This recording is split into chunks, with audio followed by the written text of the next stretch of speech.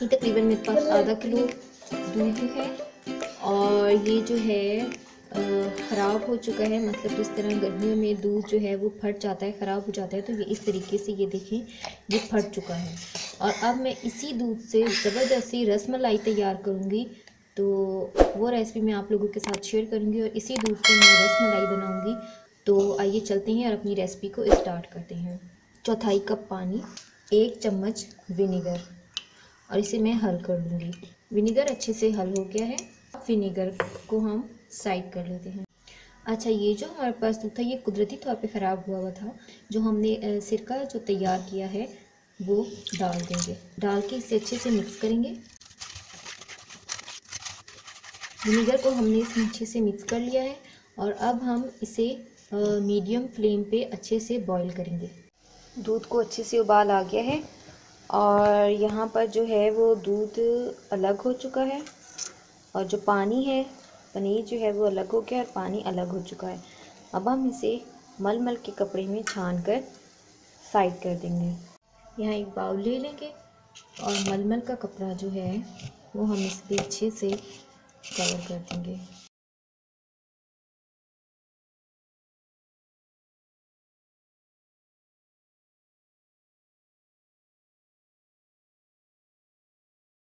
और इस पानी को हम ज़ाया नहीं करेंगे क्योंकि ये दूध का पानी है। इस, इसके साथ आप आटा भी गूंद सकते हैं और चावल वगैरह में भी इस्तेमाल कर सकते हैं। अब हम इसे साइड कर देते हैं। रहीम यहाँ पर हम एक बाउल ले लेंगे। दूध जो हमने साइड पे किया था, बिल्कुल ड्राई होनी चाहिए, जिस तरह ये बिल्कुल ड्राई है।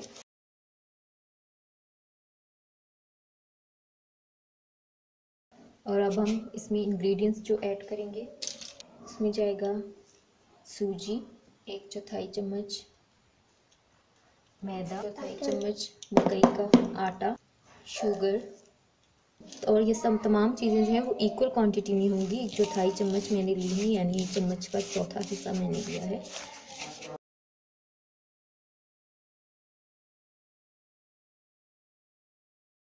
आपने उस वक्त तक इसे गूंदना है जब तक कि ये हाथों के साथ से हट नहीं जाता। ये देखिए अभी हाथों के साथ नहीं चिपक रहा। और ये एक मज़बूत डो बन गई है, ठीक है? और अब ये बाउल के साथ भी नहीं है, बिल्कुल क्लीन हो चुका है। इस, इसी स्टेज पे आपने इसे साइड कर देना है और अब हम चलते हैं अपने अगले स्टेप की तरफ़। यहाँ हम एक पतीला ले लेंगे और इसमें पानी ले लेंगे। एक चम्मच हम इसमें चीनी डालेंगे और जब इसमें हल्के से बबल बनना शुरू हो जाएँगे तो हम फिर जो हमारा हम रसमलाई के जो बॉल्स बनाएँगे, वो हम इसमें डाल देंगे। अब हम इसके छोटे छोटे बॉल बना के और साइड करते जाएँगे।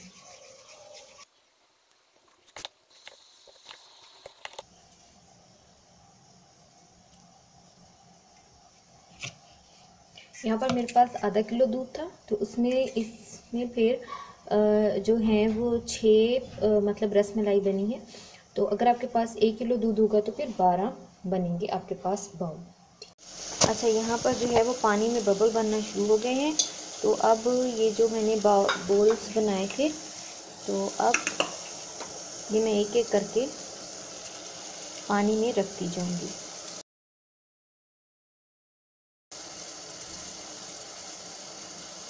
यहाँ पर मैं एक पतीला ले लूँगी और यहाँ पर मेरे पास जो है वो दो कप दूध है, ठीक है? आधा कप खुश्क दूध डालूँगी। और इसे अच्छे से मिक्स करूँ। अच्छा अब इस कंडीशन में मैं इसमें डालूँगी दो खाने की चम्मच चीनी। और इसे अच्छे से उबाल आने के लिए हम रख देंगे। और अब हम चलते हैं अपने रसमलाई की तरफ़। अच्छा जी, यहाँ पर देखिए रसमलाई जो है, वो रेडी है। और अब मैं इसे एक एक करके निकाल के प्लेट में रख दूँगी।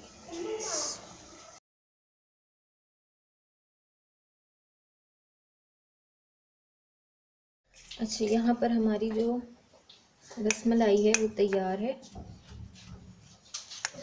और अब हम इसे एक एक करके बाउल में रखेंगे।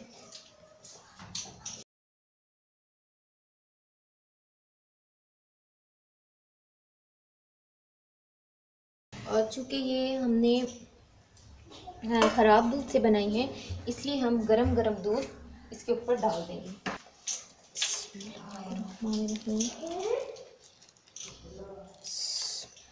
हमारी ज़बरदस्ती रस मलाई जो है वो तैयार है।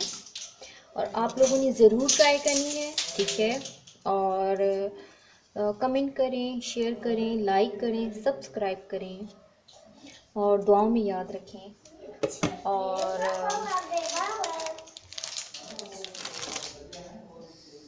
हमारी ज़बरदस्ती रसमलाई तैयार है। ये हमने ख़राब दूध से बनाई है। यहाँ पर मेरे पास आधा किलो दूध था तो इसलिए मेरे पास सिर्फ़ छः इसके बाउल बने हैं। लेकिन मैंने आपको आइडिया दे दिया है, अगर आपके पास ज़्यादा दूध हो, क्योंकि गर्मी में दूध अक्सर ख़राब हो जाता है, अगर आपके पास ज़्यादा दूध हो तो उससे आप ज़्यादा क्वान्टिटी में रसमलाई तैयार कर सकते हैं। इसका जो पानी निकला था, हम उसे भी ज़ाया नहीं करेंगे। उस, वो भी हमें जो है आटा वगैरह गूंदने के काम आता है, ठीक है? रिस्क है रिस्क को आप ज़ाया मत करें, बस इस तरीके से आप आइडियाज़ लें और आपके काम आएँगे, ठीक है? चलिए, मुझे दीजिए इजाज़त, फिर मिलूँगी एक नई ज़बरदस्त और अच्छी सी रेसिपी के साथ। जब तक के लिए दीजिए इजाज़त। अल्लाह हाफिज़।